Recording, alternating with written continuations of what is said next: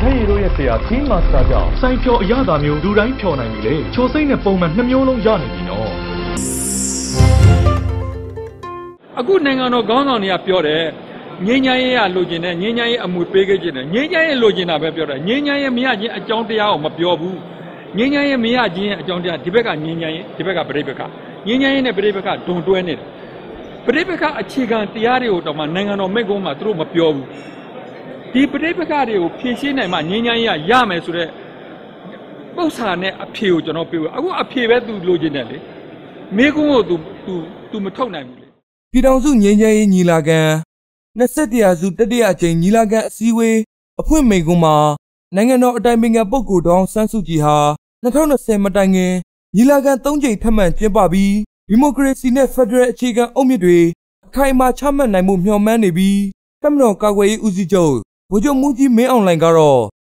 ငြိမ်းချမ်းရေးလုပ်ငန်းစဉ်တွေကို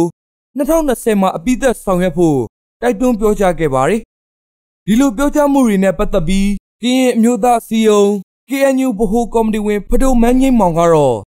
နိုင်ငံခေါင်းဆောင်တွေဟာငင်းချင်းရေးနဲ့ပတ်သက်လို့အဖြေကိုပဲပြောနေပြီးတကယ်ဖြေရှင်းနိုင်မဲ့နီးလန်းတွေမပေးဘူးလို့ထောက်ပြပြောဆိုခဲ့ပါတယ်။တက်မတော်ရဲ့စိုးရိမ်မှုကဘာလဲတိုင်းရင်းသားတွေလူကျင်တာဘာလဲဆိုတာကို ပုပွင့်လေးလေးရှိဖို့လိုအပ်တယ်လို့လည်းပြောဆိုခဲ့ပါတယ်။2020ဆိုတာတော့အစိုးရရဲ့တပ်မတော်ရဲ့ညီမချက်ဖြစ်တာပေါ့နော်ဟိုဘယ်လုပ်ငန်းမဆိုဒါငင်းငယ်လုပ်ငန်းစဉ်ကြီးဆိုတာအမှန်ကြီးမားတဲ့တိုင်းပြည်အတွက်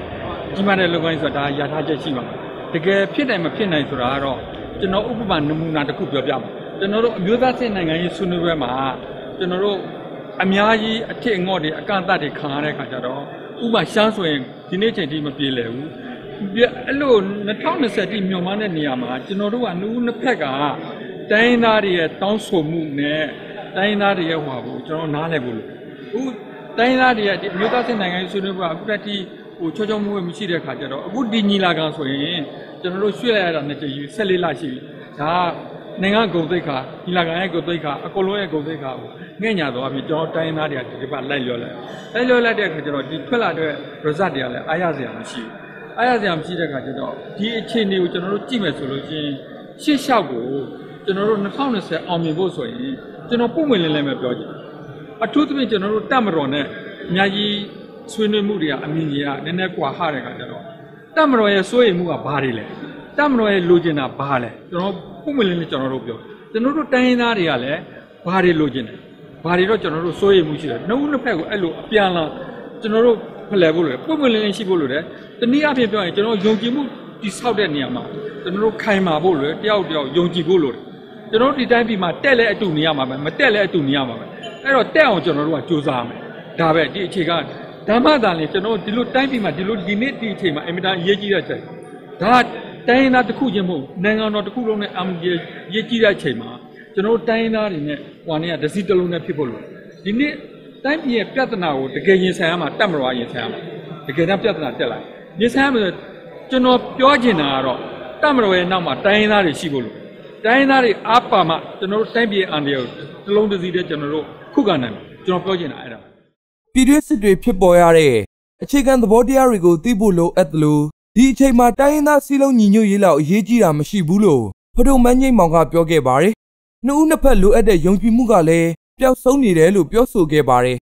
ကျွန်တော်တို့ဗျာအခု NCA မှာเนาะတိုင်းသားစီလုံးမျိုးမပြိုကွဲရေးပြည်တော်စုတင်နှခံမြဲနောက်ပြီးတော့အချုပ်အခြာအာဏာတည်တတ်ခံမြဲဒုတာကောင်အရေးသုံးပါကျွန်တော်ဂရိကုကိုပေးထားပြီဒါတဲ့ခိုင်မာတာပါရှိသေးလဲဒါကိုကျွန်တော်တို့အရေးကြီးတာကျွန်တော်တို့ဒီဂတိကုကိုသေချာလိုက်နာဖို့ပဲလို့သေချာလိုက်နာသလားမလိုက်နာဘူးလားနူးနှစ်ဖက်ကကျွန်တော်တို့ဒါကိုအပြန်အလှန်ထိန်းချောင်းဖို့လေ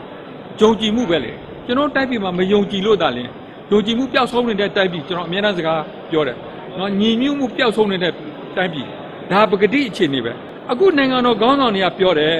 ငင်းချမ်းရေးရလိုချင်တယ်ငင်းချမ်းရေးအမွေပေးခဲ့ခြင်းတယ်ငင်းချမ်းရေးလိုချင်တာပဲပြောတယ်ငင်းချမ်းရေးမရခြင်းအကြောင်းတရားကိုမပြောဘူး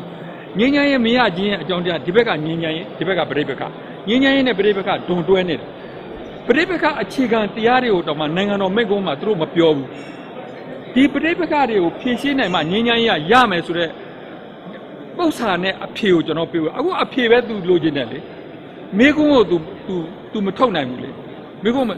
ငင်းငင်းရဲ့မရခြင်းရဲ့အခြေခံအကြောင်းတရားကဘာလဲပဋိပက္ခပဲလေတိုင်းသားတွေကပဋိပက္ခတိုင်းသားတွေကဘာတွေဆုံးရှုံးနေတယ်လဲ ဒီဟာတွေပြိပကဖြစ်ခဲ့တဲ့အခြေခံတရားတွေကိုကျွန်တော်တို့သိရမယ်သိမှသာလျှင်ဒီဟာကိုကျွန်တော်တို့ကုစားလို့ရမယ်ဒါမှသာလျှင်ပြောပြောနေတဲ့နိုင်ငံတော်ခေါင်းဆောင်အသီးသီးကပြောပြောနေငြိမ်းချမ်းရေးငြိမ်းချမ်းရေးဆိုတော့ရမှာဖြစ်တယ်ငြိမ်းချမ်းရေးကလူတိုင်းပြော လိုချင်တာပေါ့ဘလူမလိုချင်တာရှိတယ်ဘယ်တိုင်းပြည်ဘယ်လူအဖွဲ့အစည်းမှဆိုကျွန်တော်တို့တိုင်းပြည်မှာမဟုတ်တော့ငြိမ်းချမ်းတည်ငြိမ်တဲ့တိုင်းပြည်ကတက်သွားတာပဲကျွန်တော်တို့တိုင်းပြည်ကပြိပကတွေမှာနှစ်ပေါင်း80ကျော်မြုပ်နေကျွန်တော်သူများနောက်မှာကြာရင်ခဲ့တာပေါ့